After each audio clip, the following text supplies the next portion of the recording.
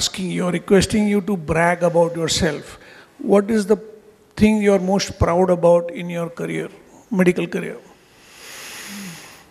Oh, so no, I'm not thinking because I want to think about what I'm proud of. I'm just trying to say um, it's difficult. I'm just proud of who I am in the sense that uh, I guess it starts by being a, both my kids are not doctors. Um, uh, and we, though my, many of you know my dad, he's a senior radiologist, he still practices, he's 87 years old. We live in the same building. So for, since the time my twins were born, one meal, the dinner, is always with family, right? Six people sitting together, my dad, mom, Bijalai, and, and the kids. And despite the fact that we would discuss medicine cases, or maybe because of that, none of my kids even had the slightest interest in doing medicine. Sometimes I think I sh we should have actively tried to brainwash them, but then that's not who we are. So, you know, whatever they wanted to do in life, they're doing. And there is where a lot of times this question would come up, you know, that why are they not thinking of doing medicine? Because to me, there is nothing better than being a doctor. The best profession in the world is medicine, right? I mean, I'm proud to be a doctor, I'm proud to be a radiologist, and then everything I do is based on that, focused on that. That's my core being. Another time I realized that is that in 2007 I merged with uh, a company called Wellspring, which was run by Ajay and Swati Piramal, and Dr. Phadke was part of uh, Wellspring. They didn't have radiology, so we became the first radiology practice in the country to become corporate. And it was very heady because then I was made in charge of radiology, and then for 18 months, I became, I started doing mergers and acquisitions. You know, I would go to places in India, I would um, give a check and buy a practice. It, it feels very nice. you know, you're buying somebody's practice. So we bought X-ray House in, in, Ahmedabad, in Ahmedabad and other places. In three months of starting this, by May 27, 2007, I was Jet Platinum. I don't know you know, when Jet Airways had this platinum uh, membership, it means somebody would receive you at the uh, entry to the airport. If you were running late, they would hold the plane for five to ten minutes. It was very heady, you know. I mean, you have all these small, small privileges that get in there.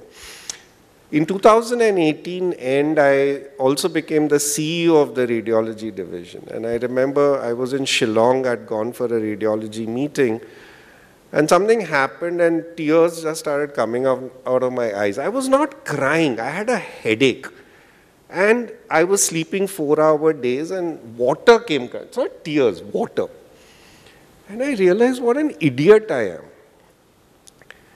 There are enough should I use that word? Idiots. Not idiots. There are enough people in this world who can do what I was doing, no mergers and acquisitions, buying practices. You see all these administrators in every hospital, the non-doctors who, who are just there. And they're good enough, whatever they do, you know, whether they, however well or not they run these hospitals and chains or whatever they do. But they can't do what I'm doing, no?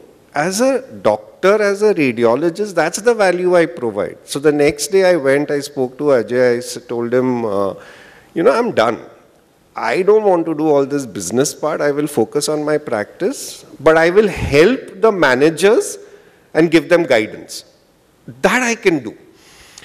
And he said, yeah, that's what I want you to do. I don't know why you're doing all of this. he said, yaar, what is wrong with you? So so that's when I again realized the value of being a doctor and, and for me being a radiologist. And then since that 18 months period where I went haywire into the business world, um, of course I still run my practice and all of that, but um, I just, I constantly, my focus is to just become better and better and better. And eventually you wake up in the morning and, you know, you say, whose life have I changed today? Right? Do I make a difference to somebody's life? We have time, right? Yeah, we have enough. So we go on a tangent. Um, I have non medical friends, school friends especially, who half of them have retired. You know, I'm 58. Some of them mandatory because if they work for corporates, you have to be retired, and then you may or may not be called back as a consultant. Some are in businesses where when they married early, their children are already 28, 30, they are grandparents. They are retired at 58. They have no purpose in life. What does one do with yourself if you don't have purpose in life? When you get up in the morning, you look at yourself in the mirror and you ask yourself, What am I going to do today? What is my life worth? You know, what difference do I make to anybody else's wife? And your wife is telling you, get out of the house and leave me alone. You're bugging me. You were never here for 25 years and now you're sitting here on my head.